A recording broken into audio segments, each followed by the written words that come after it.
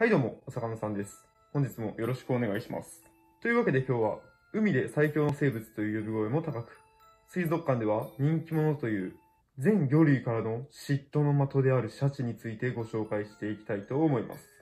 それでは海の世界へ、ゴーシャチ。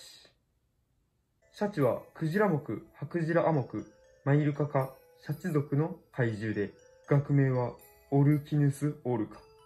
ラテン語で、冥界からの魔物。英語ではキラーホエール。殺し屋クジラ中に心がうずきますね。シャチと聞くと白黒のボディカラーが愛くるしく、水族館でショーをしている姿を思い浮かべる人も多いと思いますが、実は自然界でのシャチは魔物のように強く、そして賢いために天敵はいないと言われています。その強さの秘密の一つが、強靭な体。シャチは最大で10メートル近くになり、体重はなんと10トンに及びます。わかりやすく言うと、中型バスぐらいです。そして、哺乳類のために非常に頑丈な骨格をしており、その骨の一本一本もかなり丈夫にできています。おそらくサメぐらいなら体当たりで、そして自然界では大きくなると動きも遅くなりがちですが、彼らにはそんな概念は関係なし。泳ぐ速さは哺乳類で最速の時速60キロから70キロで泳ぎ、水面から4メートルも飛べるジャンプ力も兼ね備えています。もし海で出会ったら諦めましょう。ただそれだけじゃないんです。彼らの最大の武器、それが、高すぎる知能。シャチは非常に知能が高く、一匹につき一台、スマホを持ち、海底にたくさんのビルを建てて、スーツを着て仕事をする。なんてことはしないのですが、人間と同じく、社会性は非常に高く、数頭から数十頭のポットと呼ばれる群れを作って生活をしています。ポット内では、生まれたばかりのシャチに対する気配りとも取れる行動が多く確認されていて、母親が狩りに専念している間、他のメスが若い個体の面倒を見る、ベビーシッティング的な行動や、自身の取った獲物を若い個体に譲ったり、狩りの練習をさせるためにわざと獲物を放っておいたりすることも知られています。ちなみにこの時に獲物は殺さず、教え終わったら逃がすこともあるそうです。そして狩りの仕方も多種多様で、氷の下からの奇襲、群れでの協力、挟み撃ち。これぐらいは朝飯前で、集団で波を起こし、海面に浮いた氷の上の獲物を海に落としたり、口に入れた魚を吐き出して、カモメをおびき寄せ、集まってきたカモメを食べたりと、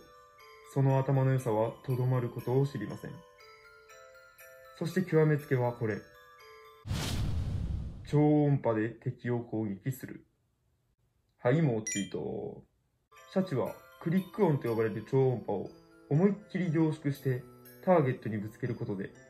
ターゲットとなる動物の三半規管を完全にやっちまい、麻痺させることができるのです。その映像がこちら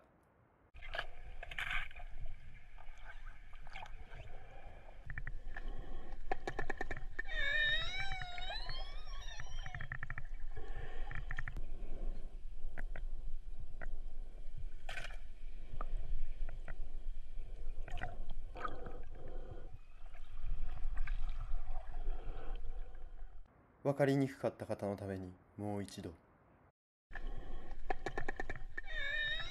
クリック音で魚を追い込みひるんだ隙に背びれアタック。何匹かの小魚がお腹を向けて気絶している。冥界の魔物の針はたったこれだけだ。いや、かっこよすぎ。さらにそのクリック音は何か物質に当たるまで水中を移動し続けるため、飛ばしたクリック音の反動によって、どこに何があるのかをかなり正確に把握することができ、一説によると、わずか数ミリしか離れていない2本の糸をそれぞれ認識したり、反響音の違いから物質の成分や内容物まで確認することが可能だそうです。また、仲間同士でコールと呼ばれる超音波を使って会話もできるのですが、そのポットごとに方言があり、その方言によって同じ群れの仲間か否かを見分けています。さらにその方言は、親から子に代々受け継がれていくのですが、近親交配を避けるため、あえて違う言葉を話すシャチを配偶者にするという賢い生存戦略も持っています。でかくて強くて賢くて、名前は冥界の魔物。中二病患者の皆様。これは空前のシャチブーム不可避ですよ。そして、シャチの獲物は小さなものでは魚、イカ、鳥などから、大きなものではイルカ、サメ、白クマ、クジラなども食すという、まさに敵なし状態。さらに、食物連鎖の頂点に立つシャチの体には、生物濃縮により、水銀や有毒物質が含まれているため、唯一天敵になり得る人間にも狙われないという、まさに敵なし最強状態と言えるでしょう。そして最後に、皆様この図が何を表しているかわかるでしょうかこの青い部分が示すものただの海いえいえ違います実はこれはそうです。シャチの生息分布図です。ほぼ世界中です。その圧倒的強さと賢さで、向かうところ敵なしのシャチは、どこの海でも頂点に君臨し、結果的に世界中の海に生息することとなりました。もし海水浴中に出くわした場合は、落ち着いて、その状況からでも入れる生命保険を探しましょう。というわけで今日はこんな感じなのですが、シャチより俺の方が冥界からの魔物だよっていう中二病仲間の皆様は、チャンネル登録、グッドボタン、よろしくお願いします。このチャンネルでは実在するヤバい生き物たちをどんどんご紹介していきたいと思いますので、応援よろしくお願いします。それでは皆様また会いましょう。本日もご視聴ありがとうございました。またね